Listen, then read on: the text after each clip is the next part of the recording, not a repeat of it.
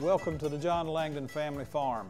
I'm John Langdon, uh, owner and operator, and this is my wife Eileen, my son John Michael, my other son Hunter, and my daughter Megan.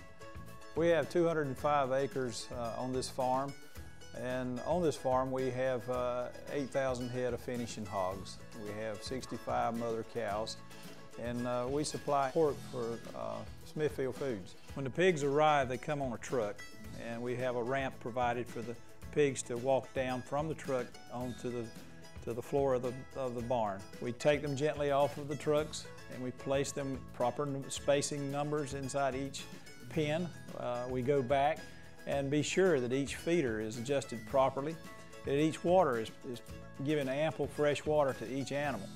And then we go back through and, and take a second look and make sure all those animals are healthy, they're happy, they're comfortable, and if not, we identify which ones they are and we put them in a pen so they can rest or give them any kind of meds that they may need at an early stage in growth uh, to um, maintain a good healthy uh, pig product. That pig remains with us with roughly about 20 weeks.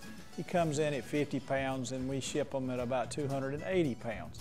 With that comes looking over the pig seven days a week to maintain uh, the integrity in that pig before he goes to your plate.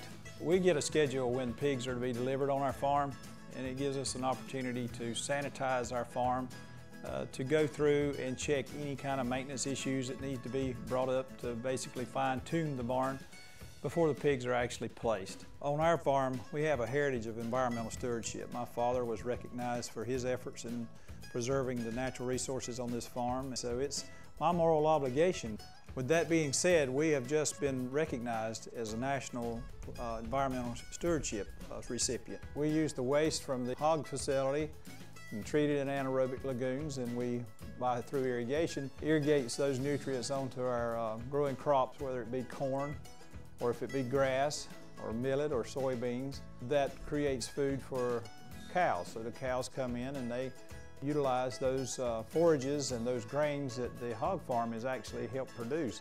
We don't buy but very little commercial fertilizer for our farm, so it's almost self-sufficient in that manner. My wife Eileen is a veterinarian and that puts even more emphasis on animal care on this farm. Animal health is a priority for us because we know that healthy animals make safe food. And so we ensure their health by providing fresh water, excellent nutrition, proper handling, and special attention if that's needed.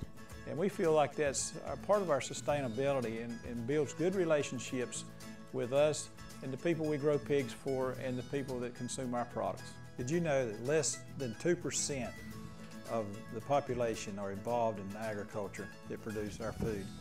And we're very proud here on our farm to be a part of that less than 2% to provide food to thousands of families that shop at Harris Teeter. Thank you for uh, spending time with us on our farm this morning through the video. I hope you've enjoyed it. I'd encourage you to uh, shop for Smithfield products at the Harris Teeter stores. And if you'd like to learn more, you can find that at www.smithfieldfoods.com.